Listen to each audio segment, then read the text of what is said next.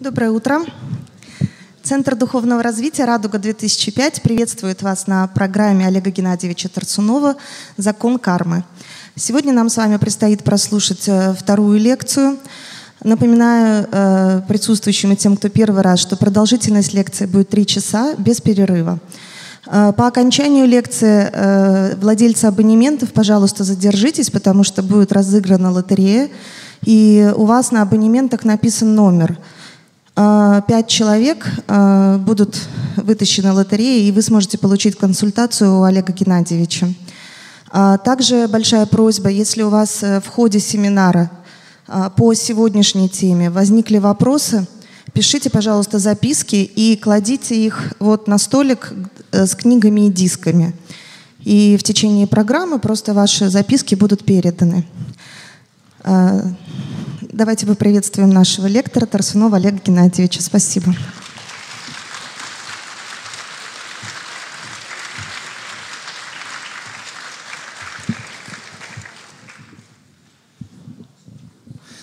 Доброе утро. Опа. Вот это все у меня карма. Микрофон у меня всегда вот так. И, кстати, карма напала на компьютер на мой и сломала его. А Бог послал человека, который сейчас ремонтирует, а, и он дал мне свой компьютер. Так, карма и Бог взаимодействуют.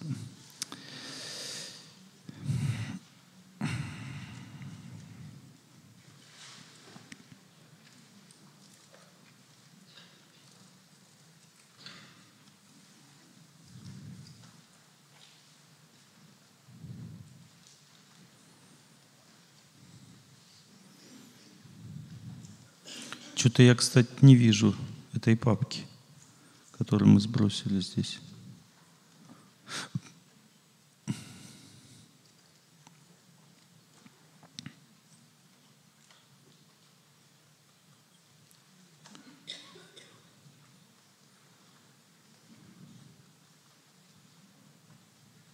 А, вот он все увидел.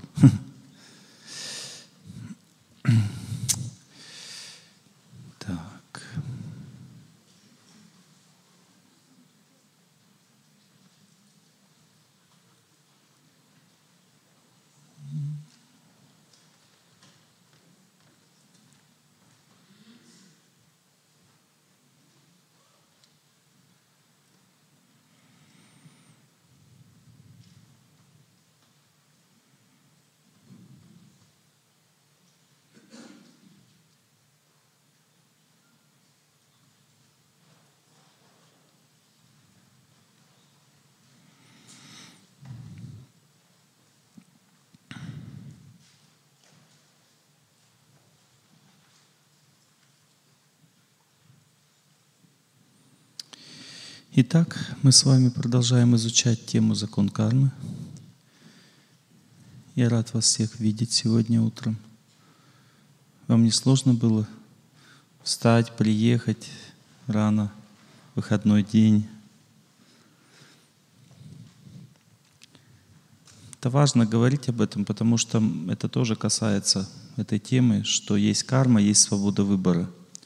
Что очень не всегда человек может преодолеть карму и проявить свою свободу выбора. То есть деятельность разума в этом заключается, что мы едем на лекцию, а не спим, едим мороженое, там, общаемся с любимым человеком, с ребенком, со своим, потому что выходной день же, и хочется посвятить его близким людям, поездки в Юрмалу там и так далее. А солнечный же день, да? Так?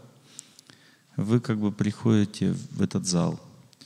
И в этом заключается деятельность разума. То есть разум выбирает знания. Он выбирает знания для того, чтобы победить судьбу.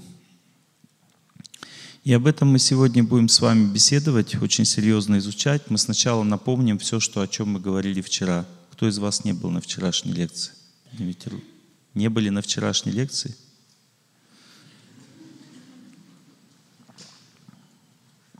Ползала. Я в шоке. Ладно, заново начнем тогда, значит. Вкратце. Веды объясняют, что есть тонкое тело у человека, психическое тело. Оно имеет каналы, психические каналы внутри себя, различные.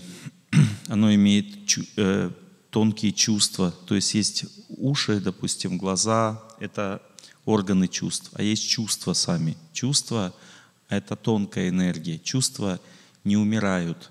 То есть когда грубое тело умирает, уши умирают, глаза умирают, тонкое тело или психическое тело вместе с тонкими глазами, тонкими ушами, имеется в виду чувствами, выходит наружу из грубого тела и все видит и слышит уже без грубого тела. Оказывается, это возможно и внутри грубого тела сделать, только надо по определенным образом настроить механизм. И, допустим, Ванге удалось этот настроить механизм, поэтому у нее не было физических, как бы, физического зрения через глаза, но она видела все людей тонким зрением своим. Понимаете? То есть это доказывает на то, что тонкое тело существует.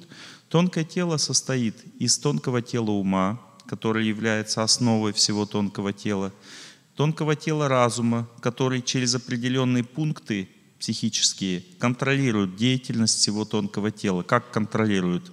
В тонком теле ума, вот в области груди, находится такая зона, которая называется мохабхага, или глубинная память наших прошлых жизней, а, наших желаний и поступков прошлых жизней.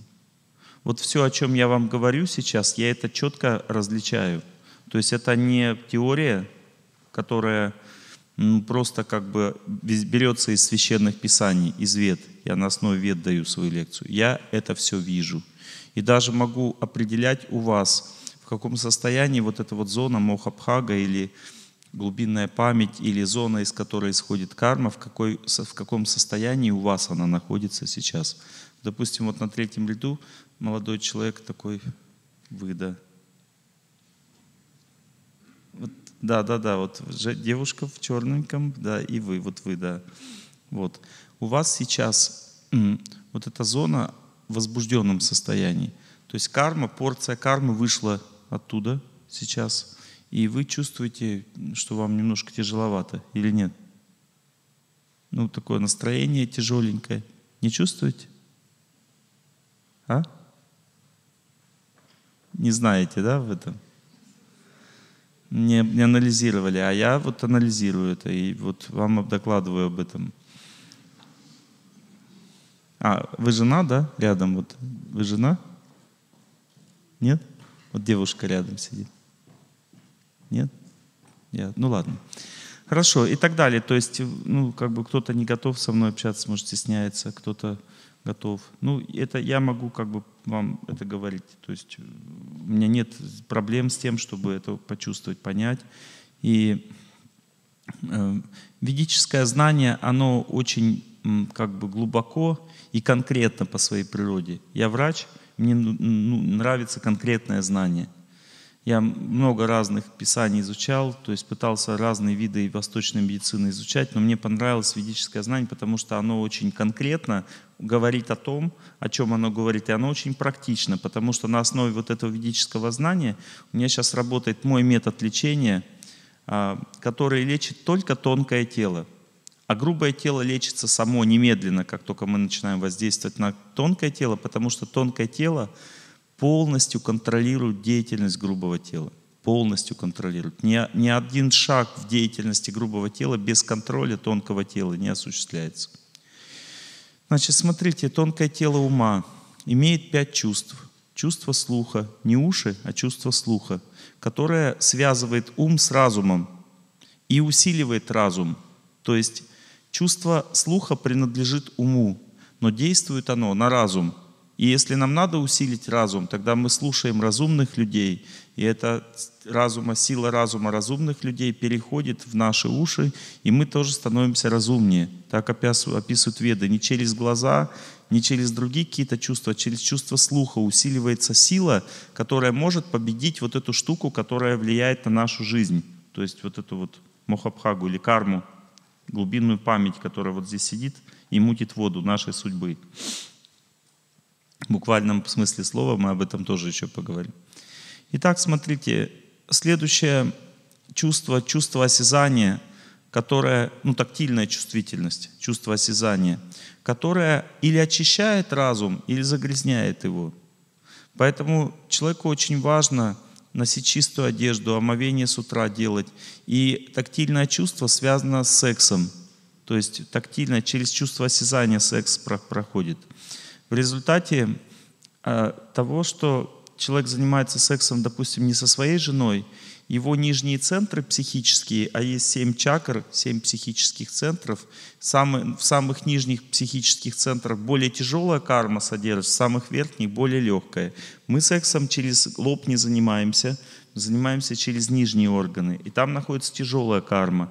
Она, когда два человека обмениваются тяжелой кармой, то они таким образом как бы создают связь друг с другом. Это описано в ведах как веревка, то есть между двумя сердцами. В буквальном смысле слова. Сила такая, как веревка создается. И в результате у человека, допустим, плохое событие происходит, тебе тоже хуже становится. Он становится твоим родственником. То есть ты сексом позанимался, это означает установил родственные отношения. Вот мы говорим, родственные отношения означает устанавливаются в ЗАГСе и в церкви.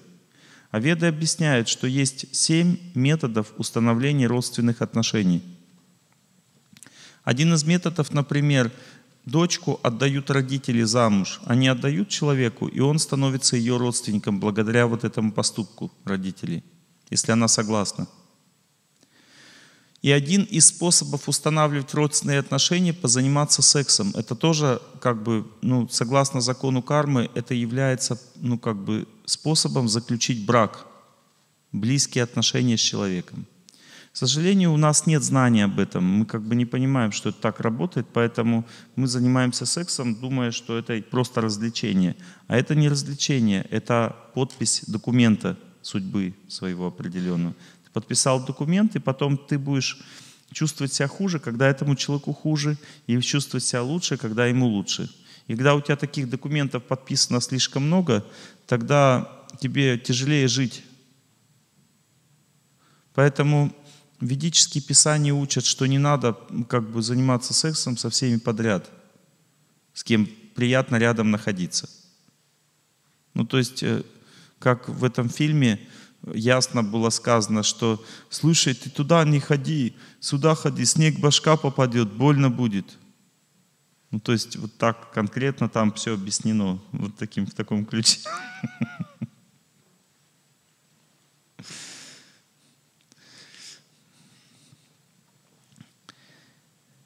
Итак, эм, мы с вами изучаем закон кармы.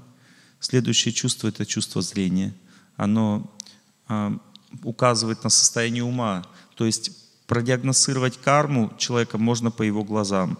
Сама карма, глубокая карма, как бы вот, это вот, вот этот вот шарик, который здесь находится, э, Мохабхага, он находится в глубине, ну то есть возле носа, то есть во внутренних краешках глаз – человека. Мы говорим о психическом состоянии. Мы не говорим о том, что здесь царапина возле глаза, это грубое тело. Мы говорим о настроении глаз. И если взять, допустим, проследить, понаблюдать за собой, куда мы смотрим человеку, мы смотрим, понятно, что в глаза, так? А в какую часть глаз мы смотрим? Мы смотрим вот сюда. И по ней мы судим, как человек ко мне относится. И в этом заключается ошибка. Потому что отношение человека или мышление человека находится во внешних частях глаз. Поэтому надо человеку смотреть во внешние краешки глаз, чтобы определить его отношение ко мне. А хочется смотреть во внутренние. Потому что кажется, что это и есть его отношение. А там действует то, что человек сам себе не видит и не замечает. Если человек возьмет, посмотрит на себя в зеркало, в зеркало – то он как смотрит на себя в зеркало? Вот так. Можно замечать, вот если, допустим, кто-то знакомый смотрит себя в зеркало, он тебя смотрел определенным образом, потом отворачивается так, потом опять на тебя смотрит по-другому. Ну, то есть можно про это как бы проследить. И, как бы, как, и почему вот этот эффект интересный, что когда человек в зеркало на себя смотрит, он не видит кармы. Ему кажется, что у него такой, он такой хороший вообще, а эти все козлы. Ну, то есть он карму человек видит через других людей свою. И ему кажется, что это их карма, а не моя. Это их проблемы, а не мои. Так действует вот эта вот иллюзия, в которой мы живем. Ну ладно, это мы об этом будем подробнее чуть-чуть позже говорить. Сейчас мы дальше продолжаем. Итак, смотрите, глаза, правый глаз связан с мужским началом в человеке, левый глаз с женским. Это не как бы не то, что вот я прямо это так теоретически говорю. Я могу по вашим глазам диагностировать, мужской деятельностью вы больше заняты или женской. Если у женщины работает больше левый глаз, вот в беленьком на третьем ряду женщина, у вас левый глаз работает больше сейчас. Да, yes. Потому что раньше работал больше правый. Я поэтому вас и об этом о вас говорю. И у вас сейчас жизнь стала улучшаться из-за того, что вы поняли, как, как это делать правильно. То есть вы начали больше в семейную жизнь идти. Так? Да. И не знаете, еще улучшается или нет. А я уже знаю. Я вам докладываю. Потому что я посмотрел ваш психический канал. Женщина должна больше женской жизнью жить, мужчина больше мужской. Мужчина дольше, больше должен во внешней деятельности жить, добиваться там счастья, а женщина должна целью своей жизни поставить семью. Часто женщины ко мне подходят и говорят, мне на работе ничего не получается, что мне делать? Я ей говорю, надо думать не о работе, а о семье, тогда на работе все будет получаться. Она говорит, ну я не могу думать о семье, если у меня на работе не получается. Я ей говорю, значит, у вас не семья на первом месте, а работа стоит. Она говорит, правильно. Вот это надо поменять, и тогда жизнь станет нормальной. Понимаете, вот в этом заключается уже практический подход к ведическому знанию. Потому что есть психические каналы в тонком теле ума. Самый центральный называется сушумна, или канал, который дает нам или бодрость, или усталость, в зависимости от того, насколько наполненная целью наша жизнь. По бокам есть два канала, называется Ида Нади и Пингала Нади. Ида Нади это вот с левой стороны, это женский канал. Он у женщин активен в три раза сильнее. А если женщина больше занимается работой, чем семьей, то у нее пин, и, это, пингала Нади становится более активен. И она сгорает, сжигает свою судьбу. То есть она больше устает, больше тяжелее жить, более нервной становится, понимаете? То есть она работает не в своем ритме. Как машину можно, допустим, на задний зад гнать 120 км в час, но она не приспособлена 120 км в час ехать задом. Она ломается от этого быстро, понимаете? Ей надо вперед ехать 120 км в час. Так и женщина, ей надо отрабатывать свою судьбу в семье, а она идет, допустим, в работу отрабатывать. В результате она ухудшает свою судьбу, она становится все тяжелее и тяжелее с каждым днем. Почему мы так делаем? Потому что у нас неправильное образование. Нам никто не сказал, как правильно жить. Мужчина тоже может действовать не по-мужски. Допустим, мужчина должен заниматься сам, самосовершенствованием, работой над собой. Он должен сдерживать себе половое желание или желание женщины, или деятельность левого полушария у него связана с личной жизнью. Он должен ее сдерживать и направлять себя в работу над собой, в победу в обществе, э, в волю, решимость и так далее. То есть он первым делом, первым делом самолеты. Ну а женщины, а женщины потом – вот. То есть вот такое мышление у мужчины должно быть. То есть он должен побеждать судьбу. И тогда у него и секс будет нормальный, и в семье все будет нормально. Все будет нормально, если он больше думает о своей работе над собой и своей внешней деятельности. А женщина больше должна думать о семье, о работе, а на работе она отдыхает. Это вывод из тонкого строения человека. Я вам сейчас объяснил. А по-другому не работает система.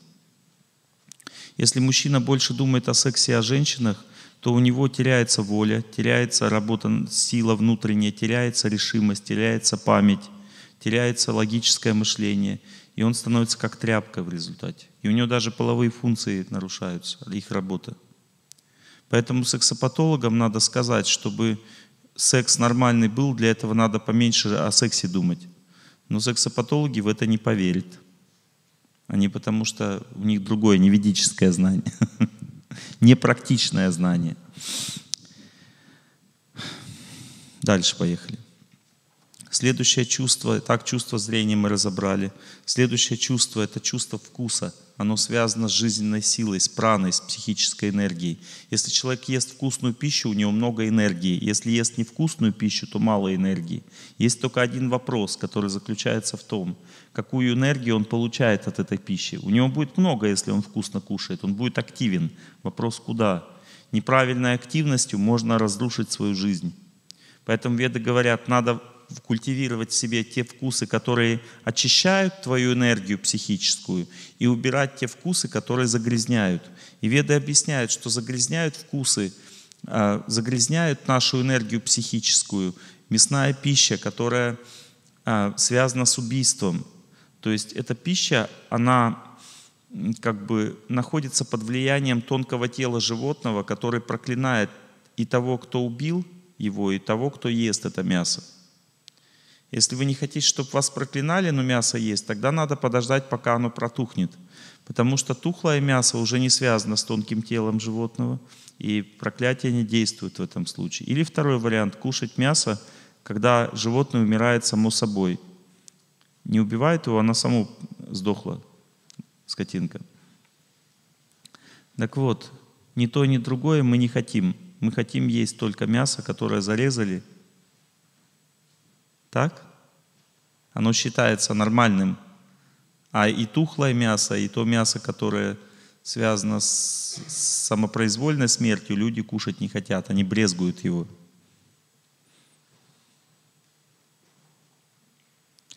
Итак, веды объясняют, что лучше белковые животные белки употреблять из молочной пищи, которая не связана с убийством. Это тоже белки, и все хорошо там, но никакого убийства нет, поэтому на тонкое тело хорошее влияние идет. Вы зададите вопрос, но ведь растения мы тоже выдергиваем, мы тоже убиваем. Правильно. Поэтому веды говорят, что любую пищу человек ест, он наполняется кармой. Но когда растение тело оставляет, то оно в спящем виде выходит из тела. Оно и спит, и живет, когда спит, и, и выходит из тела тоже спит. Потому что такая спящая форма жизни. И вот этот сон, как бы, мешает почувствовать боль. И поэтому растительная пища, когда мы ее кушаем, она меньше в себе вот этих энергий страданий несет живого существа, которое мы съедаем, тело, которое мы съедаем. Поэтому карма меньше от этого. Когда животное в тонком теле выходит из тела, оно страдает больше. И поэтому больше плохой кармы от этого мы получаем. Поэтому думай и выбирай. Понимаете? Как в той юмореске – Раки большие по 5 рублей, но вчера, или маленькие по 3 рубля, но сегодня. Но у меня и рубля нет, да? То есть идея в чем заключается? В том, что человек должен разобраться, как ему жить. Он должен рассуждать, изучать этот вопрос. И вы скажете, а мне хочется мяса, допустим. Это хорошо. Человеку всегда хочется кушать, потому что он использует какой-то вид энергии, и его надо восполнять. Вы скажете, что мне питательных веществ не хватает, и оно, я их потребляю в мясе. Это ошибка. Потому что само чувство голода связано с тонким телом, а не с грубым.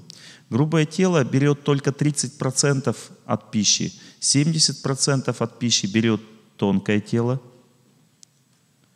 И это говорит о самом чувстве голода. Какое у нас чувство голода? У нас портится настроение, деятельность тонкого тела. Мы теряем работоспособность, деятельность тонкого тела, мы теряем силы, самоконтроль, мы чувствуем себя плохо без пищи. Мы когда поели, у нас улучшается настроение, самоконтроль, у нас появляются силы работать и так далее. Все это признаки наполнения тонкого тела. Что касается грубого тела, то ему много не надо – мы знаем, что и толстые люди, и тонкие кушают четыре раза в день. Хотя с точки зрения грубого тела толстому человеку должно не хотеться кушать хотя бы неделю. Но он кушает четыре раза в день и испытывает голод, потому что наполняется голодом тонкое тело, а не грубое. Поэтому, так как наполняется голодом тонкое тело, поэтому человек и должен изучать, что благоприятно для тонкого тела, а не для грубого. И для тонкого тела неблагоприятно кушать то, что его загрязняет. А тонкое тело загрязняет энергия убийства или энергия насилия. Понятно? Поэтому лучше есть растения. Мы можем еще анализ один провести, что когда у деревьев веточки обрезаешь, дерево растет еще больше, потому что оно встряхивается от этого обрезания. Оно начинает больше жить активнее, как человека чуть-чуть потормошить, и он как бы пробуждается. Понимаете? Когда у животного лапку отрезаешь, то оно не растет заново и не встряхивается, ему жить становится тяжелее. Понимаете? То есть природа так устроила, что мы срываем стебли у растений, они растут еще больше.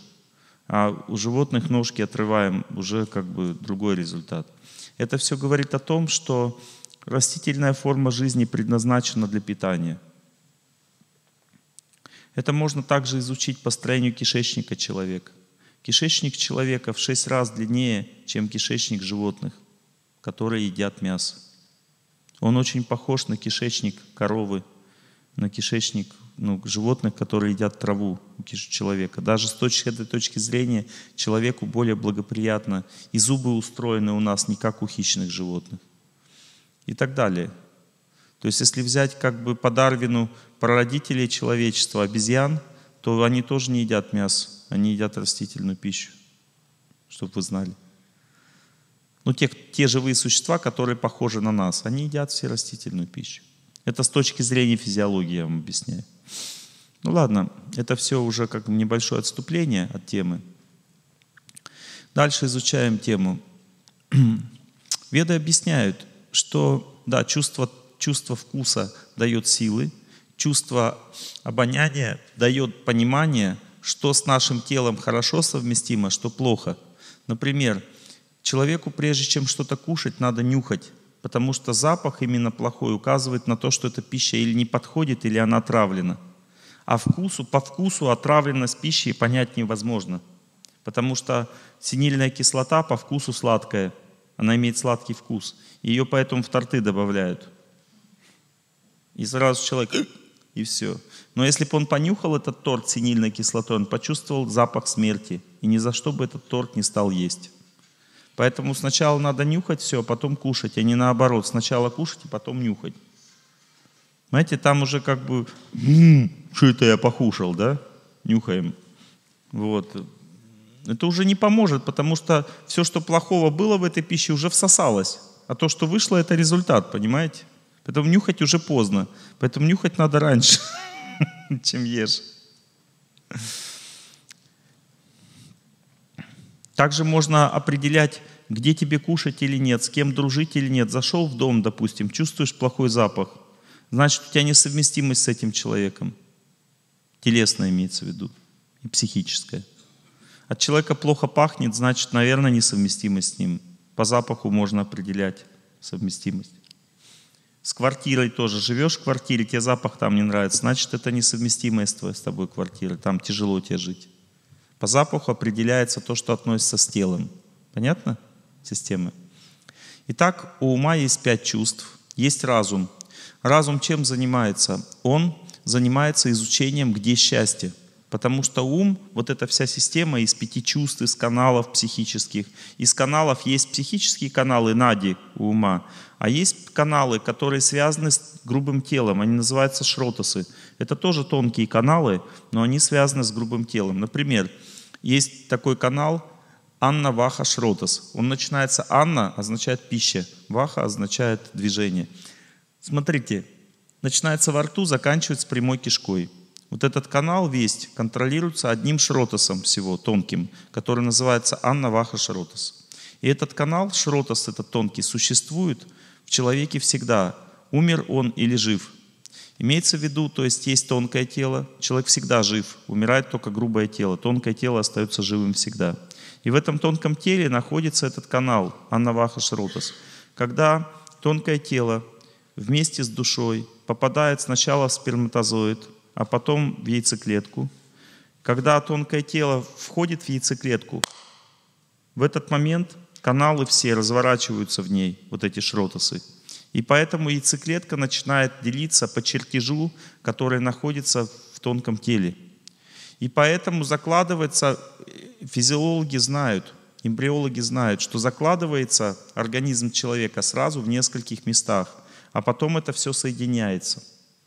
Вот представьте себе, сложнейшая система наш организм, очень много каналов, фасций, различных сосудов, и все это закладывается в разных местах одновременно и потом соединяется. С какой стати? Если даже, допустим, рыть, допустим, мужчины и женщины роют, да, соединяют, пытаются соединиться как бы с разных сторон подземный ход, да, роют, они попадут, нет, друг в друга? Нет. Для этого нужен чертеж. Иначе ты промажешь, ты можешь сверху пройти, снизу. Это невозможно. Нужен чертеж. Также в организме, как, как это все соединяется. Там есть шротосы, эти тонкие каналы, по которым растут клетки. Понятно вам, как это все работает? Не думайте, что это теория только. Аюрведические врачи по пульсу могут определить шротосы ребенка и определить развитие аномалий плода. И с помощью определенных методов воздействия на него могут внутриутробно лечить эти аномалии. Это описано в ведах.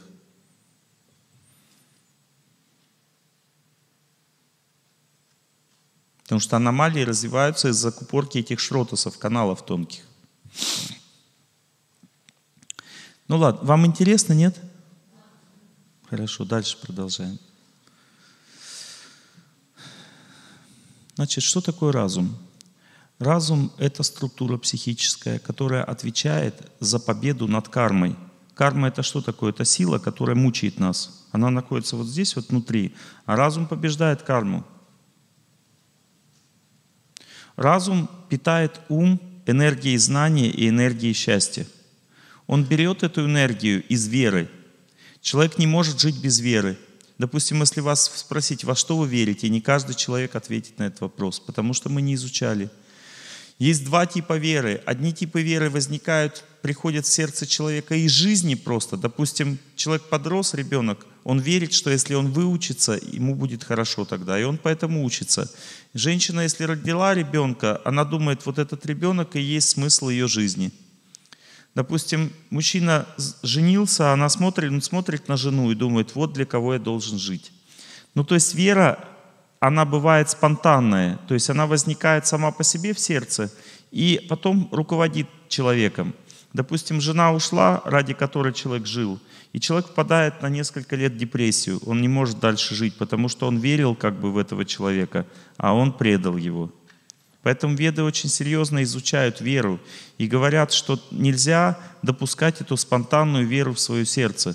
Надо верить в то, что не подведет тебя. Поэтому веды говорят, на первое место надо поставить веру в святого человека, который никогда не подведет. Если ты не доверяешь на земле живущим святым людям, поставь, начни верить в святого, который уже прожил, и он прожил свою жизнь правильно – вы скажете, а с ним нет контакта, он же уже не живет. Это еще одно заблуждение. Потому что у нас есть контакт со всеми, о ком мы думаем. Природа энергии ума такова, что она быстро находит объект на любом расстоянии. Вот кто из вас, у кого из вас есть родственник в Америке, допустим, поднимите руку. Вот, допустим, ну он поближе, вот девушка в белом. Угу, мы с вами общаемся, да. Как его зовут? А? Как? Девушка? Ваша мама?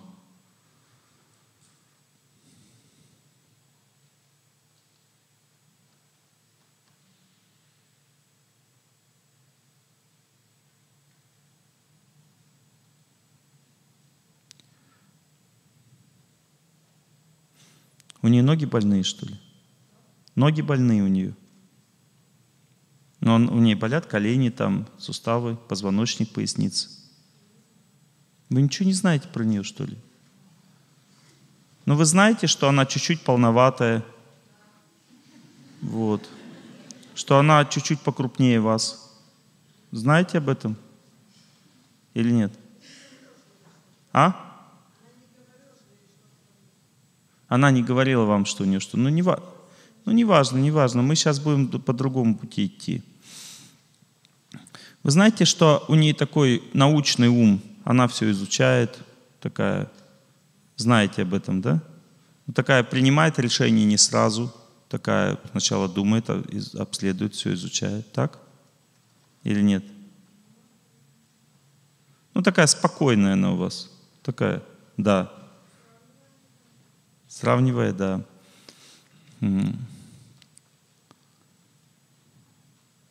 Ну, я не буду говорить о том, что она вас любит, это понятно. Вот. Но это факт. Она вас любит, думает о вас постоянно. Откуда мне это все знать? Я вас теперь спрашиваю.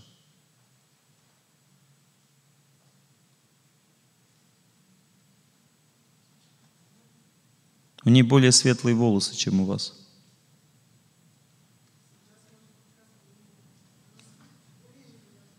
Не, я говорю не про покраску, а про ее как бы.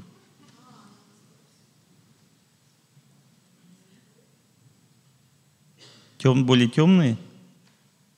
Более темные. Может быть, я ее как бы седину воспринял. Но неважно. Важно то, что можно почувствовать человека. Как это происходит? Она сейчас связалась со своей мамой. Вот сейчас ее мама прямо сейчас о чем-то думает серьезно, обдумывает какой-то момент. Понимаете? То есть это происходит связь немедленно, как только человек вспоминает близкого человека. Немедленно эта связь происходит. И если человек изучает тонкое тело, он может это почувствовать, понять. Понимаете? Эта связь не... Вот для тонкого тела ума Земля как, как как эфир, понимаете? То есть сквозь землю тонкое тело ума не находит свой объект немедленно, понимаете? То есть энергия ума в миллионы раз быстрее, чем скорость света движется. И она, для нее нет преград. Где бы человек ни находился, в каком мире в этой вселенной, если у нас с ним есть родственная связь, мы находим в уме этого человека немедленно, прямо сейчас. Просто помня о нем. Точно так же человек может, кланяясь святому человеку, даже если он изображен на иконе, он может найти этого человека в своем уме, контактировать с ним и строить с ним отношения. Спрашивается, зачем нужно строить отношения со святым человеком? Ответ такой. От святого человека исходит энергия счастья. Слово «свет» святой означает «свет». От него исходит энергия счастья, и эта энергия счастья нам сильно нужна. Поэтому, когда человек ставит целью своей жизни святого человека, он ему поклоняется, то в этом случае энергии счастья хватает для всех. Потому что все остальные люди, они чем отличаются от этого святого человека, который меня окружают? Чем они отличаются? У нас с ними одна судьба.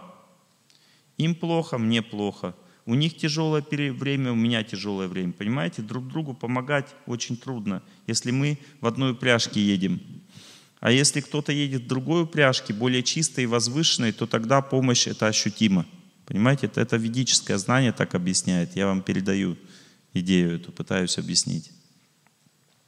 Итак, разум, он находит объект счастья, начинает связываться с ним, и от него приходит счастье в жизнь. И это называется верой. Когда человек почувствовал вот эту энергию счастья, вера — это вектор, находящий объект счастья — когда человек во что-то верит, у него жизнь наполнена смыслом. Почему? Потому что счастье приходит в тонкое тело ума, вся система начинает работать. И человек хочется жить, человеку хочется жить. Льется музыка, музыка, музыка. То печаля, а то веселя. Бесконечная, вечная, мудрая, от которой так хочется жить. Речь идет о музыке нашего сердца. То есть надо понять, что если есть у человека вера в сердце, он во что-то верит, то он живет. Допустим, он верит в то, что ему надо дом построить. И он живет, живет ради этого дома. Пока он строит дом, он живет, он активен. Он трудится, он знает, что ему надо построить дом. У него есть жизнь в сердце, понимаете? Если ему нет зачем жить, то он в депрессии находится. Потому что, когда разум не работает, у человека энергия счастья не поступает внутрь. Ум получает энергию счастья за счет деятельности разума. Так эта система работает. Поэтому у каждого человека должна быть цель в жизни. И надо изучать, какие цели иметь. Потому что если человек ставит перед собой не ту цель, потом, если она уходит от него, то он попадает в депрессию.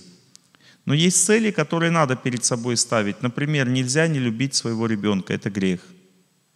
Поэтому ребенок должен быть тоже целью жизни, но не самый главный. Потому что ребенок уйдет из твоей жизни обязательно – И если ты считаешь его главной целью, то ты, твоя жизнь будет разбита, когда ребенок от тебя уйдет.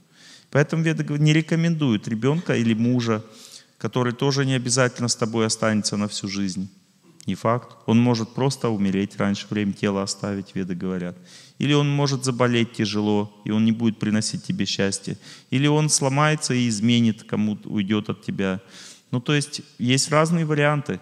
Поэтому человек не должен ставить главной целью в своей жизни близкого человека. Веды объясняют, это опасно, потому что главная цель жизни — это главная опора в жизни. То, что если уходит из твоей жизни, твоя жизнь рушится. Понимаете, что такое, что такое стресс? Знаете, стрессовое состояние. Я изучал эту тему. Он длится обычно полтора-два года. Человек не находит себе места, он не может ни спать, ни есть толком. Понимаете, его жизнь ломается. Стресс означает, что цель жизни разрушена. Листья желтые над городом кружатся. Понимаете, то есть человек не видит счастья в том, что происходит. Он видит одни страдания. Был душой я молод, а теперь старик. Понимаете, то есть человек чувствует себя в стрессе, ему тяжело жить. Почему? Потому что э, вера разрушена. Итак, смотрите такие понятия. Знание о том, как жить правильно. Оно движет человеком или нет? Знание. Может двигать, а может нет. Допустим, человек знает, что курить вредно, но курит. Веды говорят, это значит, что он не знает, что курить вредно.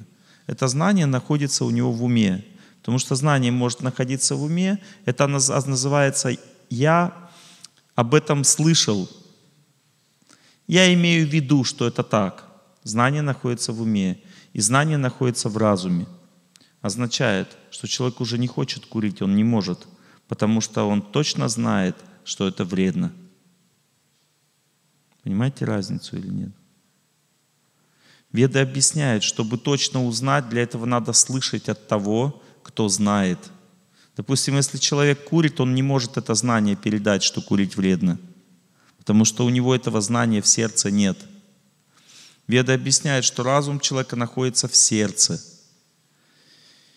Сердце, тебе не хочется покоя. Понимаете, сердцу, не мозги,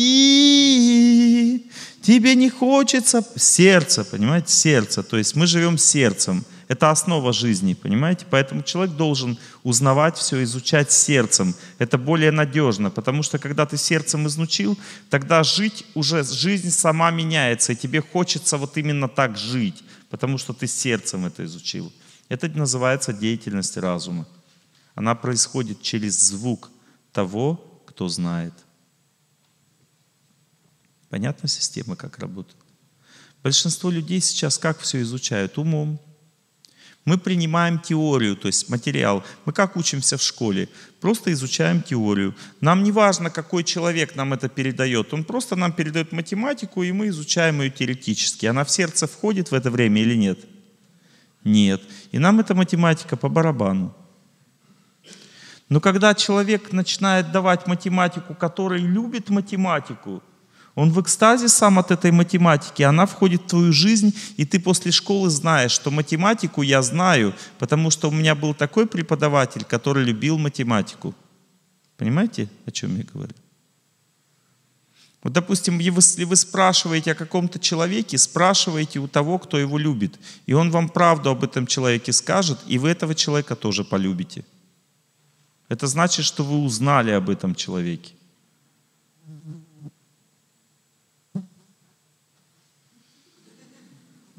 Видите, она хочет построить со мной отношения, но не знает как. Правильно.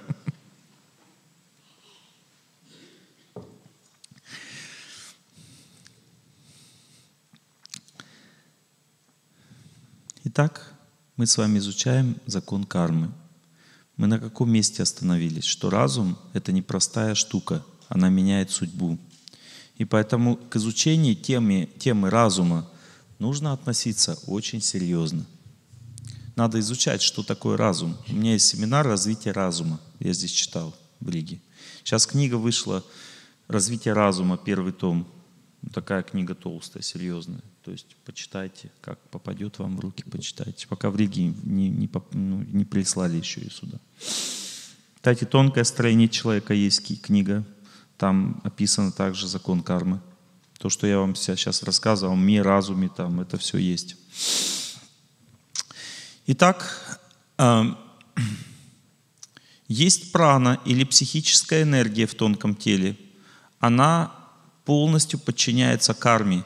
И поэтому, если карма плохая, у человека нет сил думать, делать что-то. У каждого засоряется прана в организме по-своему.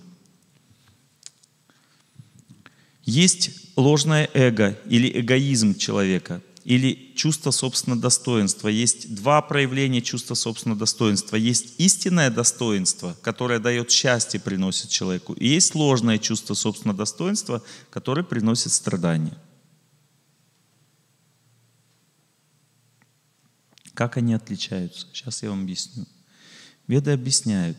Если человек хочет, чтобы его кто-то сделал счастливым, работает в это время ложное эго, и это принесет страдания – а если человек сам кого-то хочет сделать счастливым, в это время, если у него нет никаких внутренних мотивов, что он для себя это как-то хочет сделать, то это принесет счастье. Веды объясняют, что у нас внутри нет такой возможности самостоятельной быть бескорыстным полностью – Потому что даже если человек сделал какой-то бескорыстный поступок, то когда от него приходит правильный ответ, и все ему говорят, молодец, спасибо тебе, у него в сердце появляется что? Гордость. Он такой, О, пожалуйста.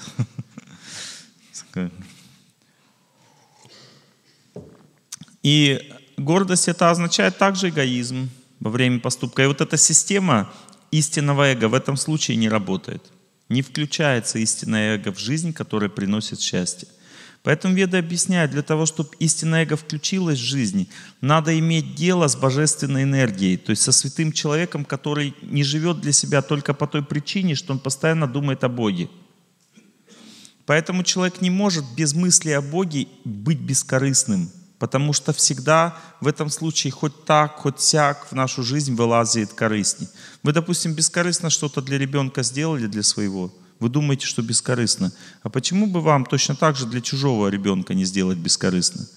Э, для чужого пусть его мама делает. Вот это и означает корысть. Или я беззаветно люблю свою страну. Хорошо, почему бы тебе беззаветно не любить чужую страну? Точно так же. Это называется опять корысть. Понимаете, даже вот когда мы бескорыстно, очень беззаветно что-то людям, это хорошо, это хорошо. Там действует тоже истинное эго, но не в полной степени. Ложное эго всегда остается во всех этих понятиях. Только в тех понятиях, которые связаны со святостью, нет ложного эго. В том случае, если мы делаем что-то не для себя, в отношениях со святым человеком, а для Него. А если мы молимся Ему для себя, для своей жизни, тоже есть здесь корысть, тоже действует ложное эго. То есть тема очень сложная для понимания. Самая сложная для понимания тема – это деятельность ложного и истинного эго. Потому что это касается нашей жизни. А веды говорят, ложное эго – это разум в невежестве. А истинное эго соединяется с разумом в благости. Поэтому, так как это соединено с разумом, поэтому человек все, что касается его, сильно оправдывает. Он считает, что это правильно. Допустим, женщина говорит, а как не любить своего ребенка? Как не любить своего ребенка? Она говорит. И это правда. Но понимаете, здесь проблема заключается в том, что и когда она привязана к ребенку, ей очень трудно понять, что эта любовь также имеет корысть по своей природе. Хотя она может жизнь за своего ребенка отдать, но не за чужого. Понимаете? Теперь второй вариант. Мать может отдать за любого ребенка свою жизнь. Это значит, что она уже мать с позиции истинного эго. Понимаете? То есть может работать как эго как истинное, так и ложное во всех отношениях. Допустим, ты любишь своего мужа, и он ушел к другой женщине, и ты думаешь, пускай будет счастлив – если ему так лучше, пускай будет счастлив. Так работает истинное эго.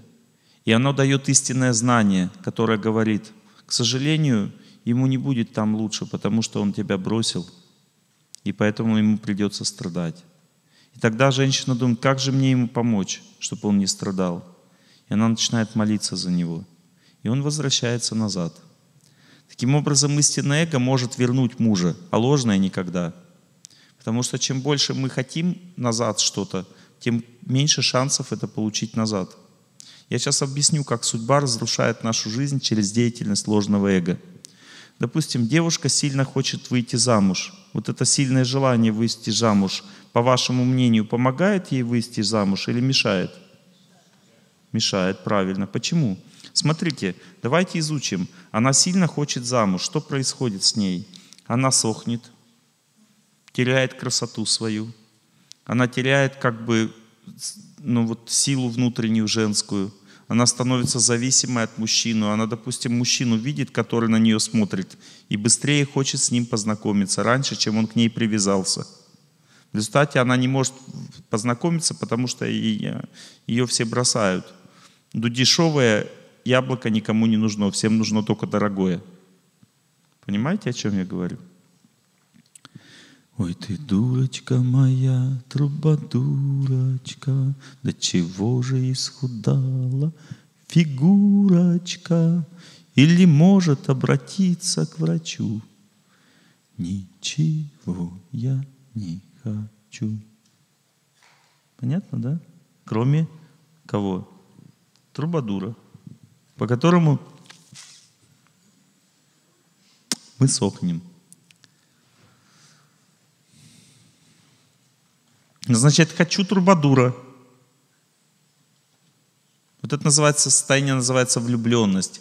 Веды объясняют, что это опасное чувство, потому что оно разрушает жизнь. Иногда человек влюбленным становится в того, кто его не любит. И веды говорят, нет в этом любви никакой. Это не любовь. Потому что любовь — это взаимное чувство, это взаимообмен, понимаете?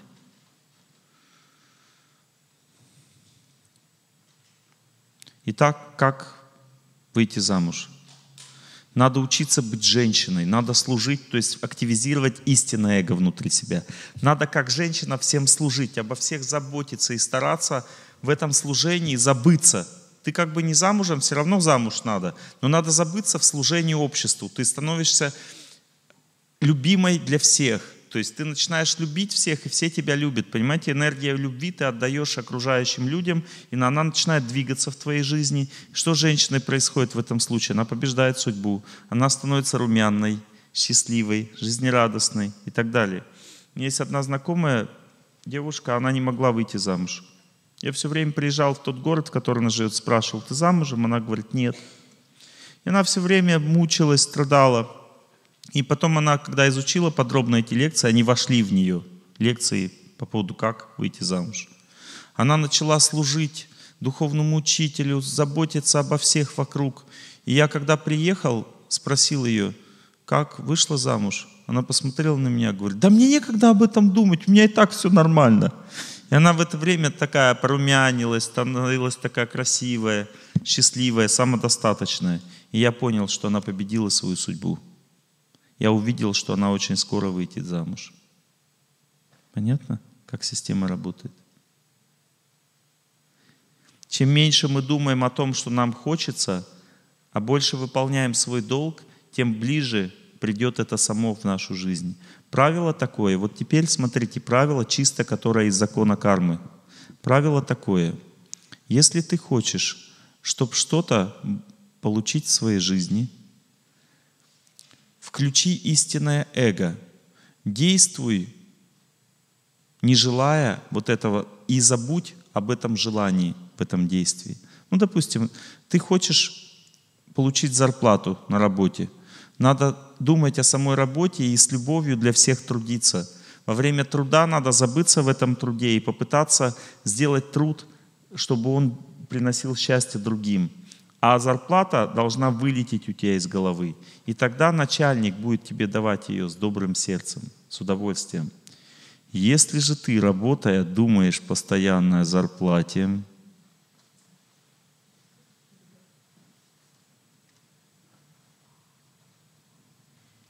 то у начальника будут кишки тянуть, когда он тебя видит. Сейчас я вам это очень легко докажу. Кто из вас руководит людьми? Поднимите руку. Есть такие? Вы согласны со мной? Кто не согласен, оставьте поднятую руку. Кто не согласен? Нет поднятых рук. А кому сильно кто-то тишки сейчас тянет из сотрудников? Поднимите руку. За своими зарплатами. Вот есть такие люди. Я вам сочувствую. Итак, смотрите, у начальников тоже есть проблема, оказывается. Она заключается в том, что кто-то тянет тишки, когда он думает не о выполнении своего долга, а о зарплате. Ведь мысли же мучают. Лена, я правильно говорю, нет? Вы согласны? Вы тоже же руководитель. Если человек о зарплате думает, он мучает вас или нет? Вас нет. Но сам мучается. Она уже выше этого, она потому что на всех семинарах, которые она организует, тоже сама присутствует. Поэтому она уже мудрый человек, получила знание, как жить. И эти люди ее не мучают. Меня, кстати, сказать тоже. У меня тоже есть подчиненные. Как-то уже не мучают, потому что я понял, как к ним надо относиться. Надо к ним относиться со страданием. Понять, что человек просто ну, недоразвит немножко – не понимает, как жить правильно, поэтому он мучается из-за этой зарплаты. А надо думать не о зарплате, а о том, чтобы счастливо жить в труде, заботиться обо всех, любить. Надо себя пересилить в этом. Видите, один, одно правило из закона кармы мы немножко с вами узнали. Оно очень сложное для понимания. Надо реально это все изучать глубоко.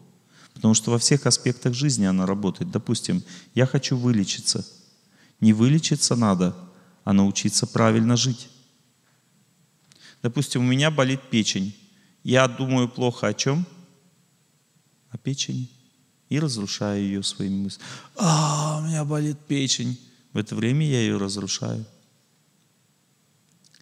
Но если человек перестает думать о том, что у него болит печень, и начинает изучать, как правильно жить, чтобы не болела печень, она перестает болеть.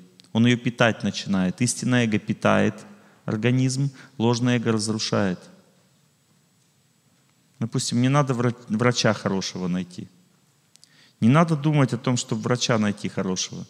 А надо молиться, раскаиваться в тех грехах, которые тебя заставили болеть. И когда ты будешь раскаиваться, то в сердце сам врач всплывет, который тебе, и радость возникнет, который тебя вылечит. Понимаете? Система как работает. Она работает с другой стороны всегда. Веды говорят, что не надо думать о плодах, которые должны прийти, о счастье не надо думать. Надо думать о том, что я должен сделать для других в этом направлении. Допустим, что я могу сделать для своего мужа? Первое, что я могу сделать для него, принять его таким, какой он есть. У него есть карма, он мучается из-за него. Из-за этого мучения он такой вот человек. Поэтому он злится, поэтому он ругается, поэтому он из-за кармы он гордится собой, из-за кармы он мучает меня. Все это происходит из-за кармы, а он сам хороший внутри. Не верите? Сейчас я вам докажу.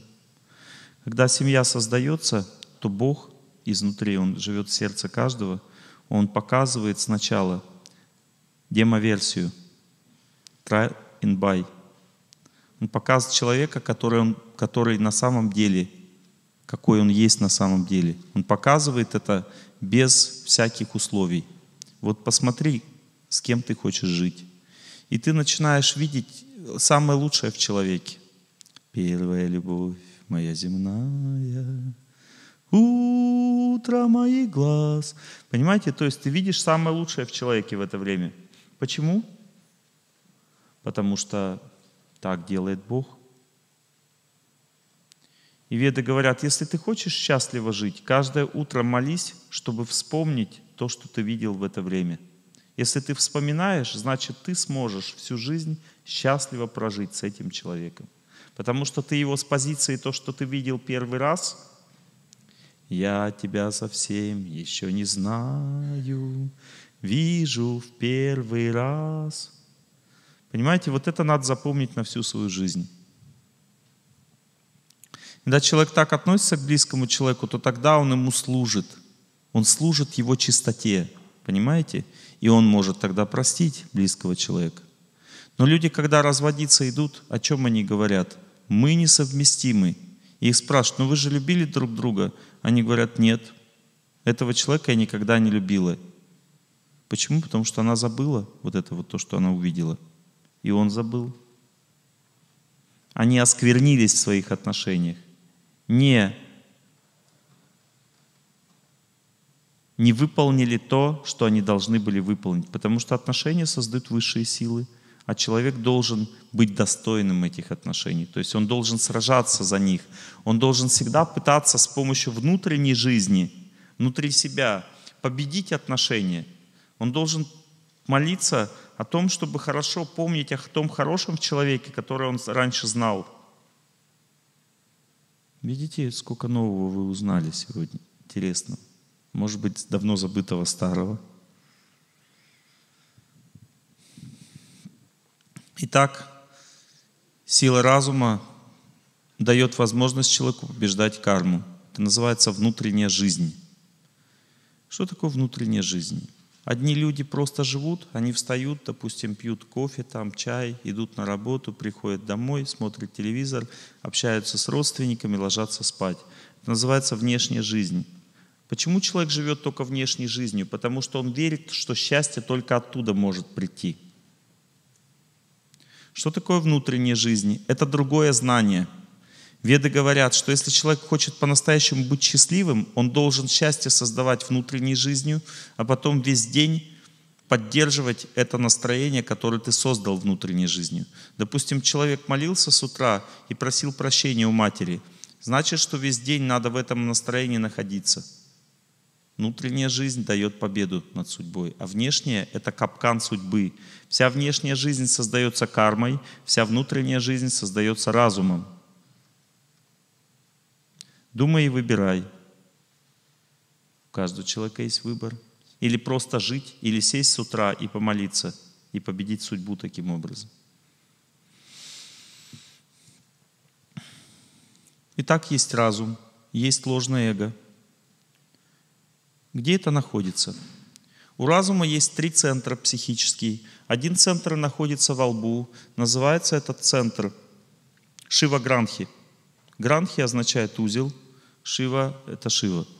Ну, то есть это э, определенная уполномоченная личность в этом мире. Почему Шива Гранхи находится здесь? Потому что здесь находится центр восприятия мира, а Шива дает силу для восприятия. То есть все мистические способности, способные проницательности, видеть других людей, но исходит как бы от этой личности, которая существует в нашей Вселенной и наполняет этот центр разума силой. Следующий центр разума называется Вишну Гранхи. Гранхи означает узел, Вишну — это Вишну. Это уполномоченная личность, которая дает энергию любви человеку. Любовь — это самое главное. Поэтому человек, который способен победить, очистить свой узел разума, вот этот, он способен любить других. Любовь — это основа жизни. Ради нее все живут. Дальше Брахма Гранхи, нижний центр психический, паховый центр, копчиковый, пахово-копчиковый центр разума. Брахма — это прародитель Вселенной, как бы тот, кто начал создавать все живые существа. Там находится центр, который связан с рождением детей и так далее, с нашими половыми желаниями. И этот центр отвечает вот за стабильность нашей жизни — за основу, стабильность какую-то. Если нет детей, нет стабильности. Нет мужа, жены, нет стабильности. Этот центр создает отношения семейные, там, детей и так далее. Центр Вишну Гранхи создает любовь, дружбу. Шива Гранхи создает понимание этого мира, как он устроен, все прочее. Понятно? Три центра разума. В грязном состоянии, как Шива Гранхи работает – Грязное означает гордое. Грязь — это сила ложного эго. Грязная сила ложного эго называется гордость. Когда человек гордится своими познаниями, то он становится слепцом. Он не может видеть знания других в это время. Это называется тупость вот этого центра разума. Она приходит человеку, когда он начинает принимать подношения его учеников, его последователей – как истину. Допустим, ему говорят, ой, ты такой учитель. И он такой, да, внутри, да, я такой учитель. И в это время у него входит тупость вот в этот центр разума. Он становится э, очень важным человеком. Особенно этому помогают ученые степени. Какое-то положение в обществе. Когда человек получает, у него еще больше как бы это вот... Я как-то с одним ректором института разговаривал. И знаете, в чем наш разговор состоял? Весь разговор был таким. Он мне рассказывал, сколько у него академиков в институте, сколько докторов наук, сколько у него важных людей уже училось и что я могу тоже у него поучиться и стану таким же важным человеком. Много-много он мне всего говорил, я очень скивал смиренно. Ему очень понравилась беседа, хотя я ни одного слова не сказал. Говорит, мне понравилось, ты хороший человек. Вот, мне понравилось, как бы предполагалось, что я буду у него учиться. Мне нужен был просто диплом. Так бы учиться к нему не пошел. И он говорит, мы будем тебя учить. Ему понравилась беседа, потому что я смиренно себя вел в это время. Но если бы я ему сказал правду, ну, что я понял как бы из всего то, что я услышал, увидел, то я бы там не учился. Он бы сказал, вон отсюда!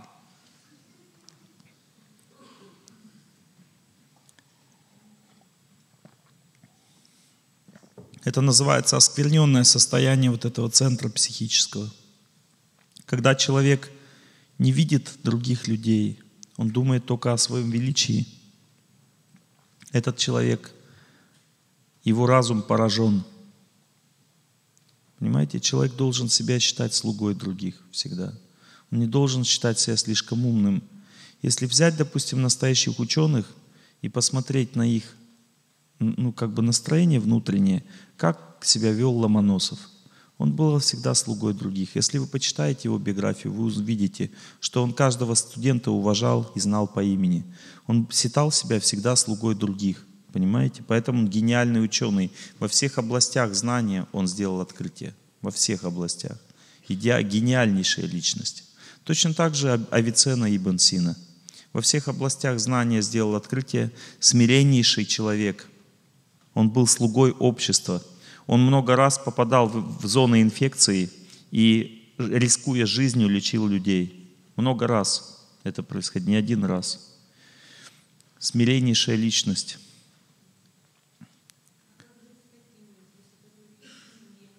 Это следующий вопрос.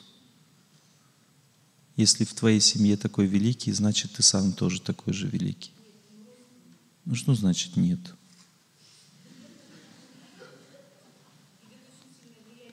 Я это понимаю.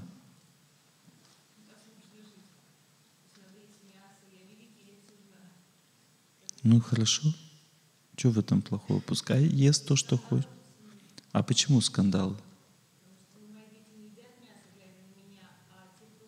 То есть на вас хорошего человека они глядят.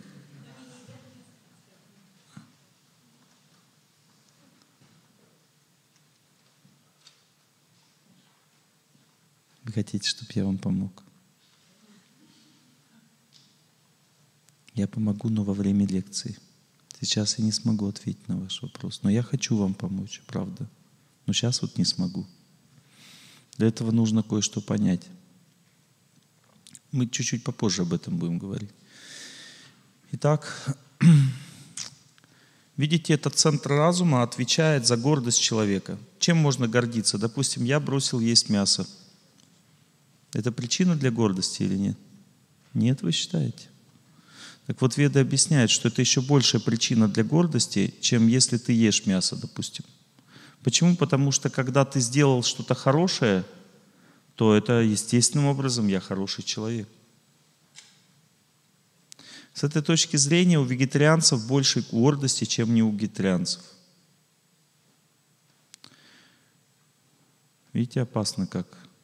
Если человек обладает знанием каким-то, он считает себя знающим, так? А если это знание действительно правильное, то он тем более себя считает знающим. И когда он не понимает, как действует гордость в этом центре, то он говорит всем своим родственникам, мясоеды проклятые! Ну, как смиренный человек говорит им. Наркоман, брось сигарету. Ну, то есть, ведет себя очень смиренно в этом случае. И родственники это чувствуют, поэтому они начинают с ним сражаться, с этим человеком, потому что они чувствуют, что война началась. А почему она началась? Потому что очень смиренный человек рядом находится. Смиренный в своих познаниях в вегетарианстве. Знаете, тема очень сложная. Надо ее изучать. Гордость приходит от всего. Чтобы мы не изучили, это дает гордость. Допустим, я слушаю по семейным отношениям о том, как должен вести себя муж, а я жена, допустим, и записываю все это. Чем я и разрушаю полностью свою семью. Потому что потом я ведь буду докладывать ему, как ему надо себя со мной вести. А для чего я это делаю? Для своего счастья. Поэтому с позиции ложного эго счастья не будет. Знание может по-разному войти в психику.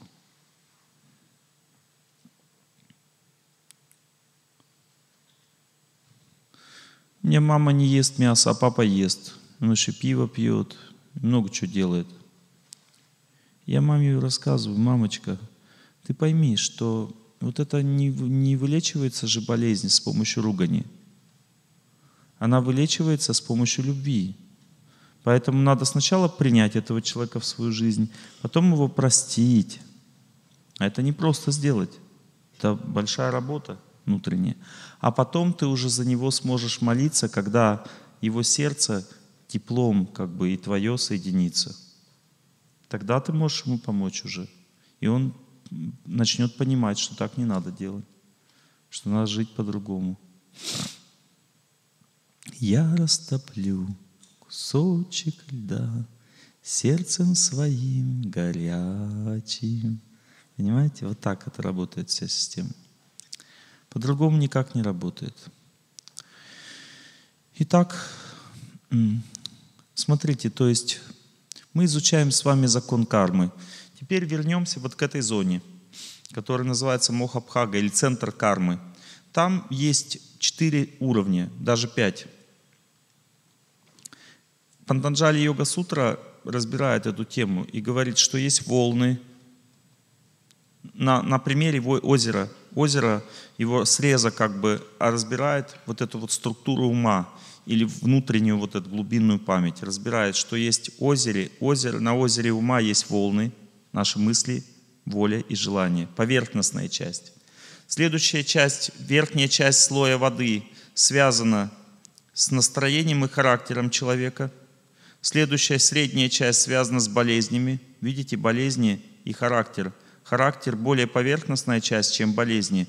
Поэтому есть много книжек, как с помощью характера лечить болезни. Не верьте в это. Опыт показывает, что характер может только сдерживать болезни, но вылечить их полностью не может. Почему? Потому что это более глубоко болезни находятся. И мы можем видеть, что многие святые люди даже болеют, хотя у них идеальный характер. Дальше. Ниже болезней находится то, что действует в моей судьбе на других. Вообще непонятная вещь. Если болезнь непонятно с моей кармой связана, но как вот этот вот гад связан с моей кармой, который мучает меня и мою жизнь портит? Мы не можем понять. Мы не можем чувствовать эту энергию, которая из, из нас исходит и настраивает его таким образом, чтобы он меня мучил – нижняя часть озера ума. И самый низ — это ил. Это и есть карма, те грехи, которые лежат внутри. Они состоят из узелков кармы, карма васан. Эти узелки кармы возбуждаются под влиянием планет, которые движутся вокруг нас. Все планеты имеют тонкое тело, Пространство имеет свой характер. Когда планета движется по пространству, меняется ее характер. Все планеты, которые нас окружают, создают определенную атмосферу пространства, характера. Эта атмосфера называется ноосферой по вернанскому, то есть это жизненное пространство человека. Имеется в виду умственное пространство Земли, характер Земли, ее настроение. Это настроение соткано из всех планет, из того, что нас окружает. Это все влияет на глубину ума, оттуда выходит кармавасана. Эта кармавасана сначала действует на окружающих людей, и мы смотрим, как они мучают меня, хотя я ничего плохого не делаю. У меня характер хороший, настроение плохое, они меня мучают. То есть настроение у меня хорошее, они меня мучают. Потом дальше, если карма усугубляется, то это уже портит здоровье. Сначала человека кто-то бросает, он еще нормально себя чувствует, через некоторое время начинает болеть. То есть карма дошла до сферы здоровья уже до этого слоя. А потом, если и дальше он живет одиноким, то есть, то у него портится еще и характер потом. Он начинает ворчливым, становиться злым, понимаете? Сначала портится здоровье, потом характер. И потом уже человек не может контролировать свои мысли и волю в этом вопросе. Так развивается карма. Чем выше кармавасана, вот эту узелок кармы поднимается в толще воды, тем тяжелее человеку жить. Понятно? Все, это краткий обзор прошлой лекции. Фух. Теперь те, кто первый раз пришли, уже знают, о чем речь. Сейчас мы с вами поговорим на другую тему, которая называется «Благость, страсть и невежество». Я вам сейчас объясню очень важное знание, которое было дано в Бхагавадгите. И когда оно давалось, сказано было, что это знание является настолько важным знанием, что когда человек его глубоко осознает, он побеждает всю свою судьбу. Это знание о том, что в этом мире существует три вида сил, которые руководят жизнью человека, или три пласта жизни, в которых мы живем. Три дороги, как помните, направо пойдешь, помрешь, налево пойдешь, коня потеряешь, прямо пойдешь там, что?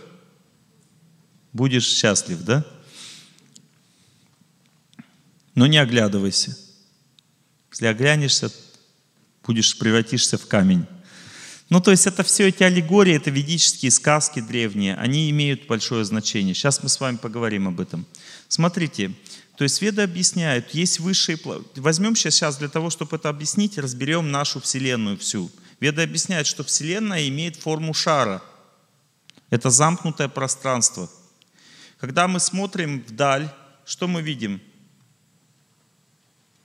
Темноту мы видим. Так? Если мы смотрим ночью во Вселенную, мы видим темноту. Там нет просвета. Вселенная имеет замкнутое пространство. Веды описывают размеры нашей Вселенной до километра. Не 5 километров, там, ну, очень большая цифра, я не знаю даже, в каких буквах ее назвать, там очень большие, ну, то есть в Ведах описаны размеры Вселенной. Описывается, что в ней есть 14 планетных систем или 14 галактик. Все эти 14 галактик, в принципе, просматриваются на звездном небе. То есть можно от начала до конца Вселенной все это видеть реально, по крайней мере в телескоп. Например, полярная звезда, она находится на самом верху Вселенной. Это огромная планета на самом деле, гораздо больше, чем наши ученые думают об этом.